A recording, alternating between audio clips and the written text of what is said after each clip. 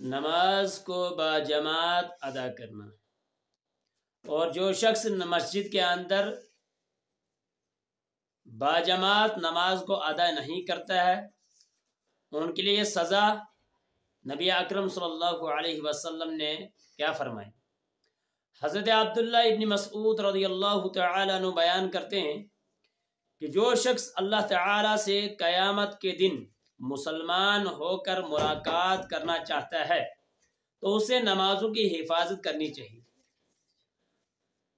اور رسول اکرم صلی اللہ علیہ وسلم نے فرمایا کہ ہمیں ہدایت کے طریقے بھی سکھائے گئے، اور اس میں یہ بات بھی شامل ہے کہ مسجد کے اندر باجماعت نماز ادا کرنا اور جہاں پر آزان دی جاتی ہے، وہاں پر نماز کو باجماعت ادا کرنا۔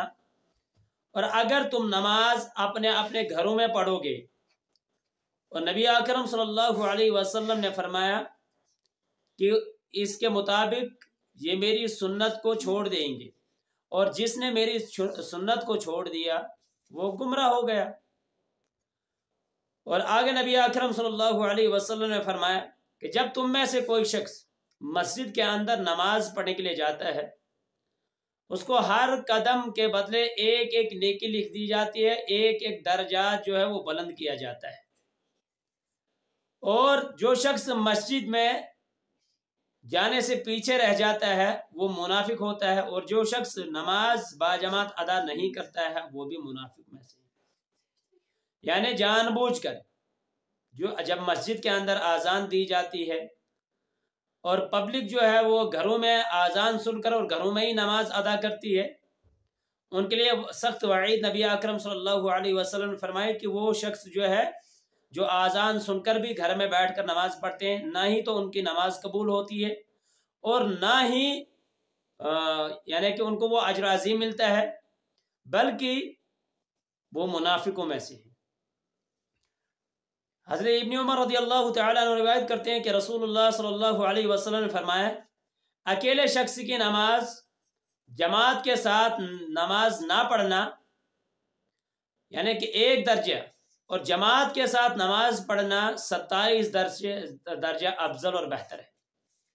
رسول اللہ صلی اللہ علیہ وسلم نے فرمایا، اس ذات کی قسم ہے جس کے ہاتھ میں میری جان ہے، البتہ میں نے ارادہ کیا کہ میں ایک آدمی کو حکم دوں کہ وہ آزان دے، پھر ایک آدمی کو حکم دو وہ امامت کرے لوگوں کی۔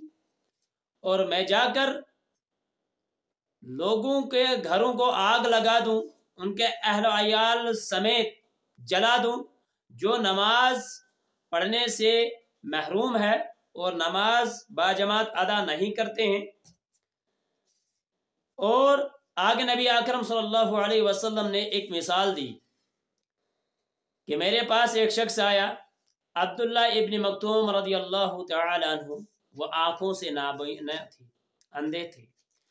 انہوں نے اپنا عذر پیش کیا نبی اکرم صلی اللہ علیہ وسلم سے، کہا، یا رسول اللہ صلی اللہ علیہ وسلم، میں آنکھوں سے نابینا ہوں اور گھر میرا دور ہے اور راستے میں گھنے درخت بھی ہے، راستے میں جانور بھی ہے۔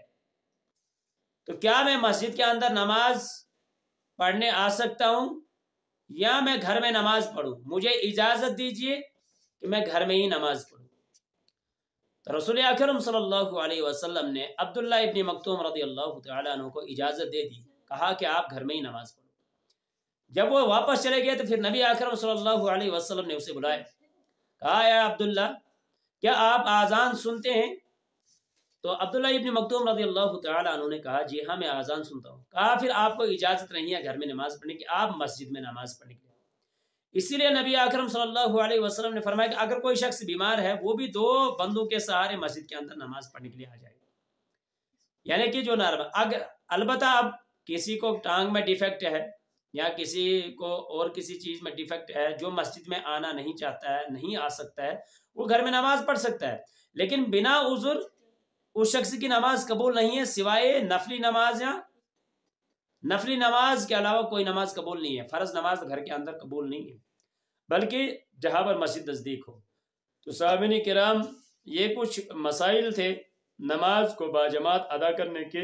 اللہ تبارک و تعالی ہم سب کو سننے سے زیادہ عمل کرنے کی توفیق عطا فرمائے۔